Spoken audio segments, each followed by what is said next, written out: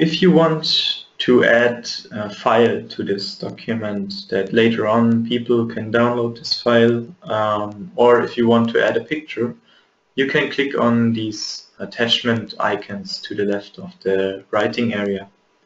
If you click on for instance the file tab you can then say at the top uh, upload new file and then choose your file from the Explorer in this case for instance a trust presentation.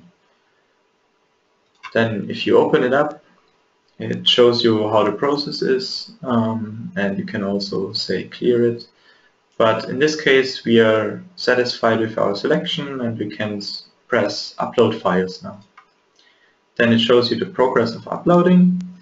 Once it completes it says upload complete and after you hit close upload area you can see that your file appears here in the um, in the attachment section.